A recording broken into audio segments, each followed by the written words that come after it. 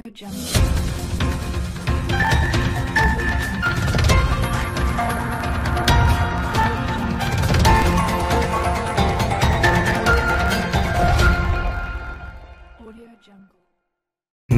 आप सबका स्वागत है। 2 जनवरी को इंडियन क्रिकेटर रहे रमन लांबा की सत्तावनवी बर्थ एनिवर्सरी है। उनके साथ क्रिकेट फ़ील्ड पर हुए दर्दनाक हादसे को क्रिकेट फैंस शायद ही कभी भूल पाए। फरवरी उन्नीस सौ अठानवे में जब वो हादसे के बाद ज़िंदगी और मौत से जूझ रहे थे तो उनकी वाइफ एयरपोर्ट जाकर उन्हें रिसीव करने वाली थी। रमन की वाइफ हकीम ने एक इंटरव्यू में उस पूरे मोमेंट के बारे में ज़िक्र किया था।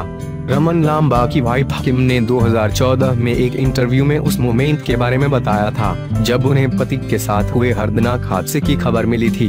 किम के अनुसार, मैं एयरपोर्ट जाने की तैयारी कर रही थी। रमन को फ़्लाइट से पिक करना था। तभी बांग्लादेश से मेरे पास फ़ोन कॉल आया। फ़ोन पर ऐसी खबर मिली जिसे कोई सुनना नहीं चाहेगा। रमन के साथ हुआ हादसा बहुत बुरा सपना था। गौरतलब है कि बांग्लादेश में एक क्लब मैच के दौरान फील्डिंग करते हुए रमन लांबा के सिर पर ज़बरदस्त बॉल लग गई थी।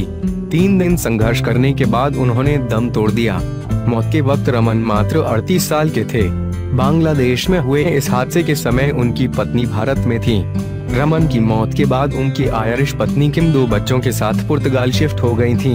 1990 में रमन को आयरलैंड में किम से पहली नज़र में ही प्यार हो गया था। रमन और किम के दो बच्चे, बेटा कामरान, बेटी जैस्मिन हैं।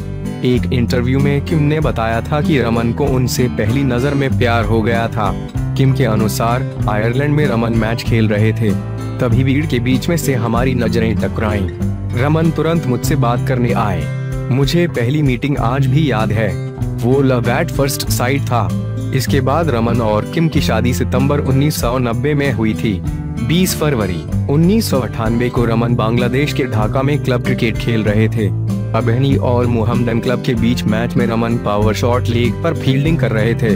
तभी बैट्समैन के तेज शॉट की बॉल उनके माथे पर आकर लगी। बॉल इतनी तेज थी कि रमन के सिर से बॉल टकराकर विकेट कीपर के पास चली गई, लेकिन रमन वहीं गिर गए। हालाँकि, वो जल्द ही उठ गए, लेकिन फ़ील्ड से बाहर चले गए। ड्रेसिंग रूम में उनकी हालत बिगड़ने लगी और उन्हें तुरंत हॉस्पिटल पहुँचाया गया। रमन तब तक बेहोश हो चुके थे। दिल्ली से तुरंत एक डॉक्टर को ढाका बुलाया गया। तीन दिन तक ट्रीटमेंट चलने के बाद उनकी हालत में कोई सुधार नहीं हुआ और 23 फरवरी को उनका निधन हो गया था।